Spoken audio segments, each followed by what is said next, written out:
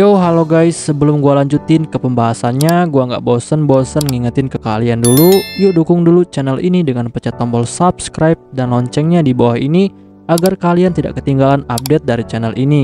Dan juga like dan share ke kawan-kawan kalian biar di channel ini semakin dikenal banyak orang. Pastinya dukungan dari kalian sangat gua butuhin untuk ngebuat gua terus semangat dan terus update ke depannya. Oke, kalau gitu kita langsung lanjut aja ke pembahasannya.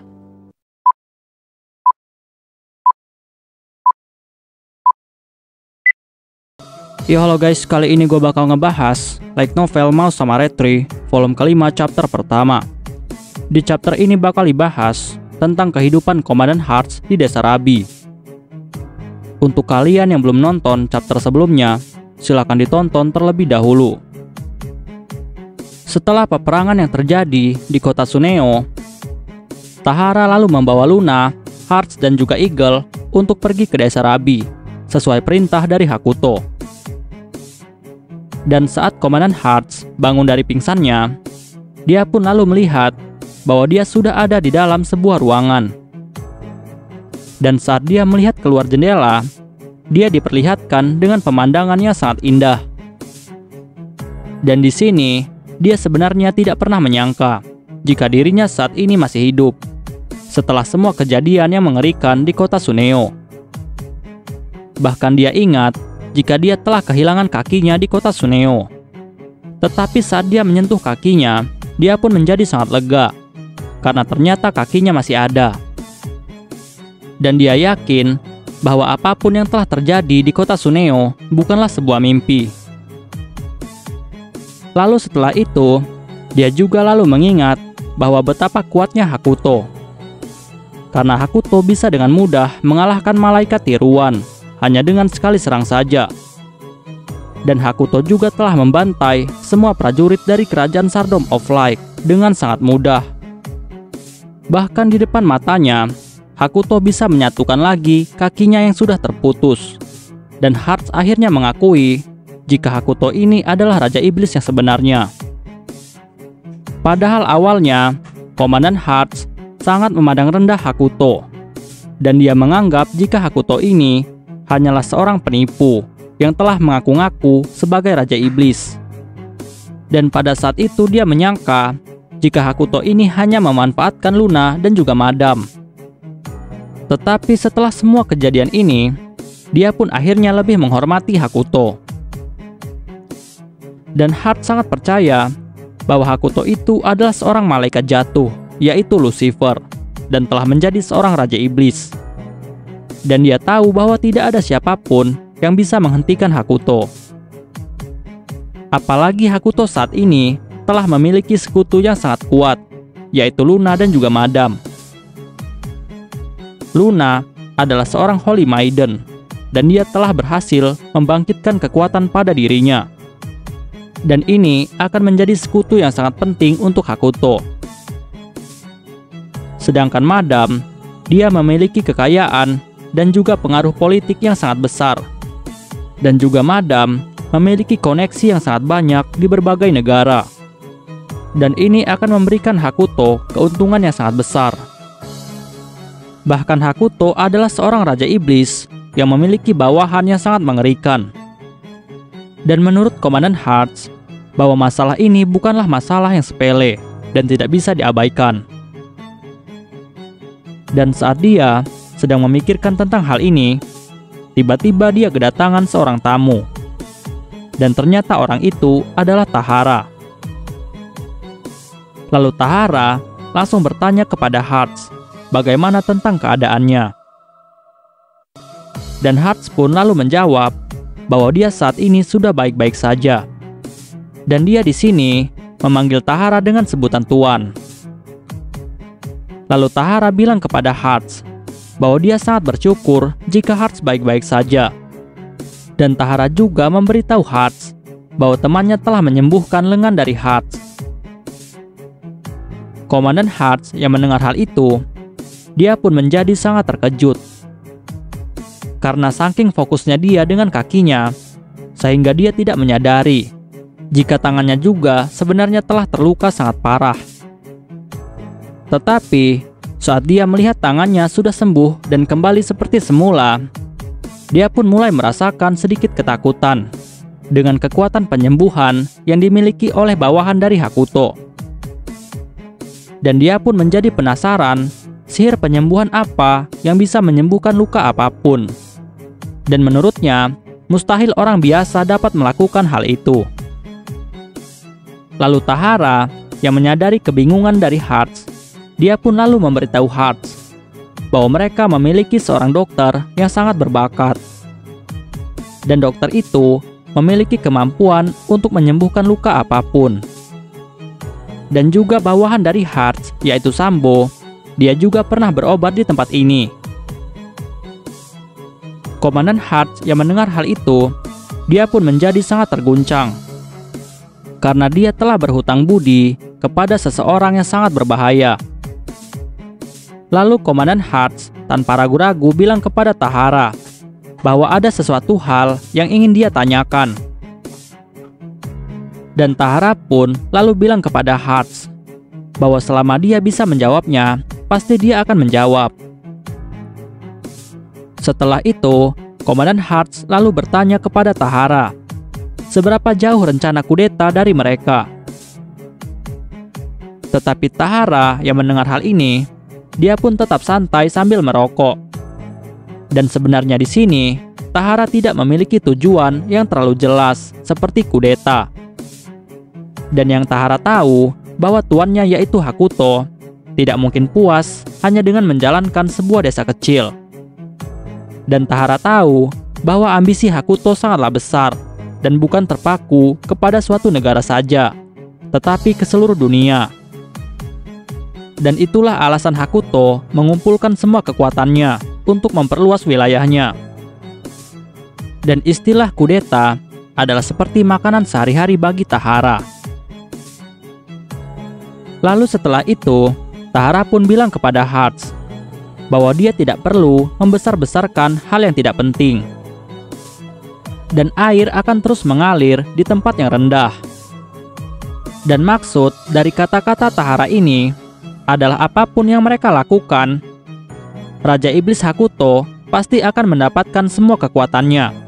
Sama seperti air yang akan terus mengalir keluar dan tidak akan bisa dihentikan. Lalu Komandan Hearts bertanya lagi kepada Tahara, apa yang akan mereka lakukan kepada kerajaan Holy Light. Tapi Tahara lalu menjawab bahwa sebenarnya pertanyaan ini tidak boleh ditanyakan kepada dirinya, karena dia tidak akan tahu hal ini. Karena Hakuto lah yang tahu semua rencananya. Sedangkan dia hanya mengikuti apa yang diperintahkan oleh Hakuto. Komandan Hearts yang mendengar hal itu, dia pun akhirnya mau mengerti. Lalu Hearts bertanya kepada Tahara apa yang ingin dicapai oleh Tahara. Dan Tahara pun lalu menjawab bahwa yang dia inginkan adalah semoga adik kecilnya bisa hidup dengan damai. Karena saat ini hanya adiknya saja keluarga yang dia miliki. Komandan Hatch mendengar itu, dia pun menjadi sangat bingung. Dan dia bingung kenapa Tahara melakukan semua ini hanya untuk membahagiakan adiknya. Dan menurutnya, alasan Tahara ini sangatlah aneh. Lalu setelah itu, Tara pun bilang kepada Hearts bahwa dia sudah memberitahu bawahannya yaitu Sambo jika Hearts ada di desa Rabi. Dan Hearts bisa bersantai terlebih dahulu sebelum Sambo datang menjemput. Dan Tahara juga menawarkan Hearts untuk mencoba pemandian air panas yang ada di desa Rabi. Lalu setelah itu, Tahara pun langsung pergi meninggalkan Hearts dan setelah Tahara pergi, dia pun lalu bertanya-tanya, apa yang dimaksud dengan pemandian air panas? Dan dia penasaran, kenapa orang-orang bisa bersantai di pemandian air panas. Dan saat dia mencoba melihat keadaan dari desa Rabi melalui jendelanya, dia pun menjadi sangat terkejut. Karena dia tidak pernah menyangka bahwa sebuah desa bisa menyamai sebuah kota. Dan dengan semua kemajuan ini, dia hampir tidak percaya jika ini adalah desa Rabi. Karena yang dia tahu, desa Rabi adalah desa yang dikelilingi oleh gurun pasir dan tempat para bismen. Lalu tidak lama, datang lagi seseorang tamu menemui Hearts. Dan ternyata orang itu adalah saingan politiknya, yaitu Madam Butterfly. Lalu Madam langsung bertanya kepada Hearts tentang keadaannya. Dan Hearts pun lalu menjawab bahwa dia sedang baik-baik saja. Dan di sini, Komandan Hearts selalu berpikir bahwa jika Madam bertanya seperti itu, biasanya dia akan menganggap jika pertanyaan itu adalah basa-basi. Tetapi kali ini dia merasa jika pertanyaan itu sepertinya pertanyaan yang tulus. Dan saat Komandan Hart melihat ke arah Madam, dia pun akhirnya menyadari jika Madam ini ternyata sudah lebih kurus. Dan menurutnya, jika Madam ini kembali ke ibu kota dan memamerkan tubuhnya di kalangan bangsawan, pasti hal itu akan menjadi kehebohan yang sangat besar. Dan di sini dia pun lalu berpikir, apakah Madam telah melakukan diet ataupun kehilangan nafsu makannya, sehingga dia bisa menjadi lebih kurus. Lalu Hartz langsung bertanya kepada Madam, apakah Madam baik-baik saja? Dan Madam yang mendengar itu, dia sebenarnya sudah tahu bahwa Hartz pasti terkejut dengan keadaan tubuhnya yang saat ini semakin kurus. Tetapi Madam hanya menjawab bahwa dia sangat baik-baik saja karena dokter Yu setiap hari telah memeriksanya. Lalu setelah itu, dengan tulus Madam bilang kepada Hearts bahwa dia berterima kasih kepada Hearts karena dia telah melindungi Luna saat dia di kota Suneo. Tetapi Hearts dengan gugup lalu menjawab bahwa Madam tidak perlu berterima kasih karena sudah kewajibannya sebagai pasukan Holy Light untuk melindungi seorang Holy Maiden. Tetapi Madam lalu bilang kepada Hearts bahwa walaupun itu adalah kewajiban dari Hearts, tetapi dia tetap ingin berterima kasih karena Luna adalah teman baiknya.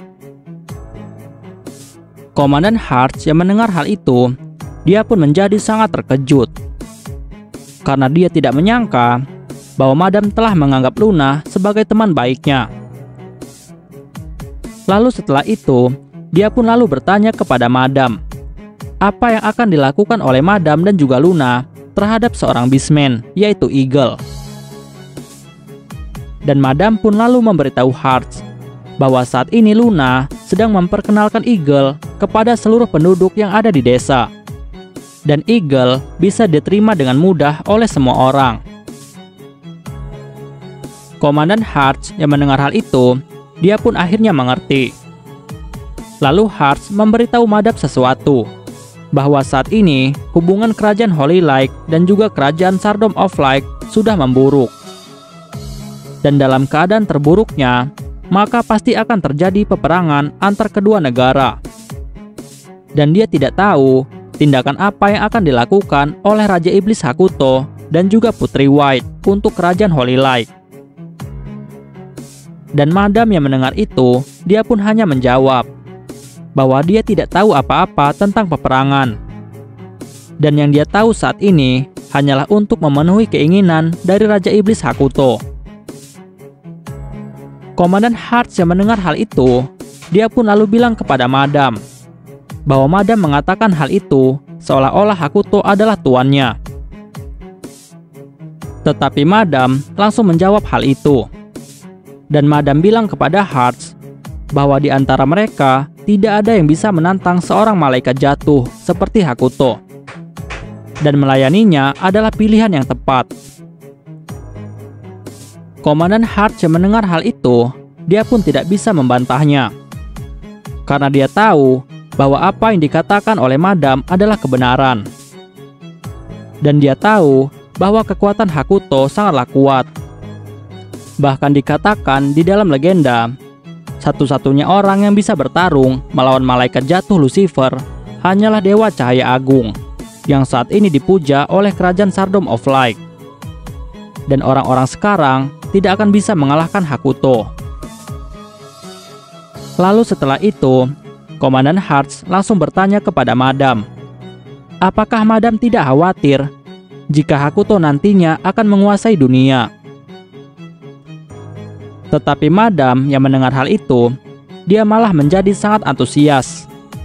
Karena dia telah membayangkan jika Hakuto nantinya menguasai kerajaan Holy Light dan juga seluruh dunia, maka hal itu akan mendatangkan banyak keuntungan. Dan salah satu dari keuntungan itu adalah setiap desa pasti akan memiliki pasokan air yang tidak terbatas dan juga kemajuan pembangunan akan terjadi di kerajaan Holy Light. Dan ini akan membuat kerajaan Holy Light menjadi kerajaan yang sangat makmur. Dan saat Madam membayangkan tentang hal ini, dia pun menjadi sangat bersemangat. Dan dia sangat menyambut jika hal ini benar-benar terjadi. Lalu Madam bilang kepada Hearts bahwa jika Hakuto menguasai dunia, maka bangsa mereka pasti akan sangat berkembang. Tetapi Komandan Hearts yang mendengar hal itu, dia tidak bisa percaya. Malahan dia menganggap jika Madam ini sudah gila. Dan dia pun lalu memberitahu Madam bahwa di dalam legenda, malaikat jatuh Lucifer pernah menguasai dunia malam dan telah menciptakan wilayah neraka yang saat ini telah menjadi wilayah iblis Helion. Tetapi Madam langsung membantah hal itu. Dan Madam bertanya kepada Hearts apakah dia pernah melihatnya sendiri tentang kebenaran cerita itu. Dan Hearts mendengar itu, dia pun langsung terdiam. Lalu Madam bilang kepada Hearts bahwa dia tidak mau menyibukkan dirinya dengan cerita dari seribu tahun yang lalu. Dan dia hanya percaya dengan apa yang dia lihat sekarang, dan bukan dari sebuah cerita legenda yang belum tentu kebenarannya. Komandan Hart yang mendengar hal itu, dia pun hanya bisa terdiam. Dan dia pun mulai merasakan sangat konyol dengan semua kecurigaannya. Lalu setelah itu, Madam pun lalu menawarkan kepada Hearts untuk melihat semua kenyataannya secara langsung. Untuk menentukan apakah Hakuto itu berbahaya atau tidak. Dan Madam juga menawarkan Komandan Hearts untuk berkeliling desa, dan dia akan menemaninya. Tetapi Hearts yang mendengar hal itu, dia malah menganggap niat baik Madam seperti sebuah konspirasi. Karena dia sangat tahu bahwa di kalangan para bangsawan ada banyak sekali faksi-faksi. Dan jika dia dan Madam berjalan bersama-sama, maka hal itu akan membuat rumor jika bangsawan Hearts sudah bergabung dengan faksi bangsawan Madam. Tetapi Madam lalu bilang kepada Hearts bahwa dia sudah menyiapkan pakaian yang pantas untuk Hearts. Dan jika dia sudah selesai, maka dia bisa menemuinya di bawah. Dan setelah Madam keluar, akhirnya para pelayan pun langsung masuk membawakan pakaian untuk Hearts. Dan mereka ini adalah Kyon dan juga Momo. Sedangkan Hearts yang melihat mereka berdua, dia pun menjadi sangat gugup dan tidak nyaman. Karena bagi bangsawan Holy Light, sebenarnya hal ini adalah hal yang biasa. Tetapi untuk bangsawan militer, hal ini adalah hal yang sangat aneh. Lalu dia pun meminta Momo dan juga Kyon untuk keluar dari ruangannya. Karena dia tidak nyaman jika mereka di sini. Tetapi Momo lalu bilang kepada Hearts bahwa mereka hanya akan mengambil pakaian lama untuk segera dicuci. Tetapi Hearts bilang kepada mereka bahwa dia akan mencuci pakaiannya sendiri. Tetapi Momo dan Kyon terus memaksa Hearts untuk melepaskan pakaiannya dan Hearts dengan tegas terus menolak hal itu.